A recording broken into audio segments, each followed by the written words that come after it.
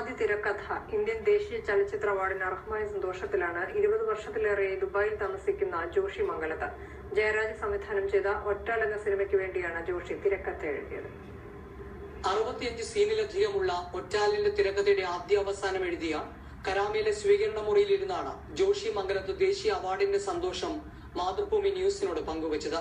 എനിക്കിങ്ങനെ കിട്ടി എന്നുള്ളത് എനിക്ക് ഇപ്പോഴും വിശ്വസിക്കാൻ പറ്റുന്നില്ല. കാരണം ആദ്യത്തെ ഒരു തിരക്കഥ എഴുതി അതിന് തന്നെ ദേശീയ അവാർഡ് കിട്ടുക എന്ന് പറഞ്ഞാൽ അതൊരു വല്ലാത്ത അനുഭവം തന്നെയാണ്.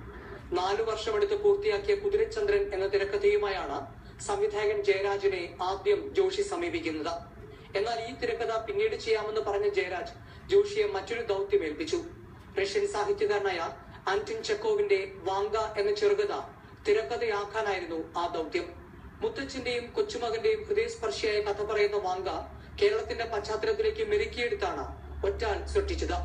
ആ കാലഘട്ടത്തിലും ചൈൽഡ് ലേബർ ഉണ്ടാ ചൈൽഡ് ലേബർ എന്ന ഈ ഇഷ്യൂ ഉണ്ടായിരുന്നു എന്നുള്ളതാണ് തെളിവാക്കുന്നത് ആ, ഒരു മെസ്സേജ് അതിന് അല്ലെങ്കിൽ ആ ഒരു ഇഷ്യൂ അതൊരു സോഷ്യൽ റെലവെന്റ് ആയിട്ടുള്ള അല്ലെങ്കിൽ സാമൂഹിക പ്രസക്തിയുള്ള ഒരു വിഷയമായതുകൊണ്ട് തന്നെ ഇപ്പോഴും ഈ ഇരുപത്തിയൊന്നാം നൂറ്റാണ്ടിലും നമ്മളുടെ ഇടയിൽ നമ്മുടെ ഈ പ്ലാനറ്റിൽ ചൈൽഡ് ലേബർ എന്ന് പറയുന്ന ആ ഡർട്ടി ഇഷ്യൂസ് ഇപ്പോഴും തുടർന്നുകൊണ്ടേയിരിക്കുന്നുണ്ട്. ലോക ക്ലാസിക്കുകളടക്കം ചെറുപ്പത്തിൽ നല്ലതുപോലെ വായിച്ച് ജോഷിക്ക് പരിസ്ഥിതിയുടെ സാമൂഹിക ജീവിതത്തിന്റെ കുടുംബങ്ങളുടെ നല്ല പാഠങ്ങൾ എഴുതാനാണ് ഏറെ ഇഷ്ടം.